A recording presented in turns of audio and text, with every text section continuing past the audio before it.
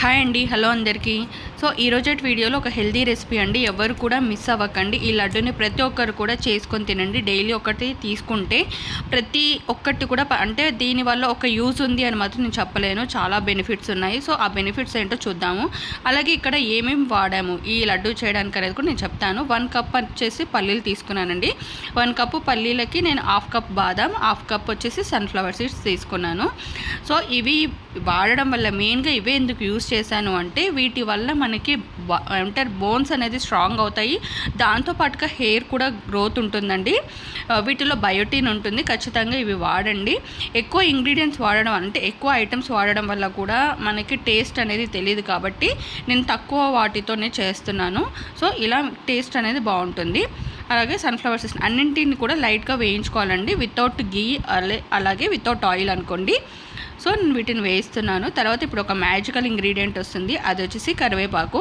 కరివేపాకు హెయిర్ గ్రోత్కి చాలా అంటే చాలా మంచిది. సో అందుకని నేను ఇక్కడ కరివేపాకు కూడా హాఫ్ కప్ తీసుకున్నాను. దానిని మాత్రం కొంచెం నెయ్యిలో వేయించుకోవాలి. కొంచెం పచ్చివాసన పోయేంతవరకు తర్వాత వేయించుకున్న తర్వాత ఇవన్నీ చల్లగా అయ్యాక వీటిని గ్రైండ్ చేసుకోవాలండి పౌడర్ ఫామ్లో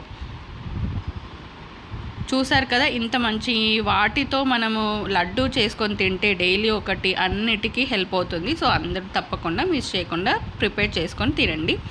సో నేను ఆల్రెడీ కరివేపాకు కూడా వేసి గ్రైండ్ చేశాను.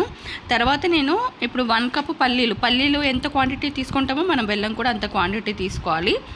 చూడండి మనకి ఇలా మనకి కొంచెం ముద్దలాగా వస్తుంది. అంతవరకు కూడా గ్రైండ్ చేయాలి. అంటే దాంట్లో నుంచి ఆ పౌ ఏవైతే మనము పౌడర్ చేసాం కదా ఆ పౌడర్ ఇంకొంచెం గ్రైండ్ చేస్తే మనకు ఆయిల్స్ అనేది వస్తాయి అనమాట ఎక్కువ గ్రైండ్ చేసినప్పుడు. అప్పుడు మనకి లడ్డు అనేది ఈజీగా వచ్చేస్తుంది. నేను ప్రతిసారి చెప్తానండి ఎప్పుడైనా మనం లడ్డు ప్రిపేర్ చేసుకోవాలంటే కొంచెం వేడిగా ఉన్నప్పుడే లడ్డు చేసుకుంటే లడ్డు అనేది వస్తుంది.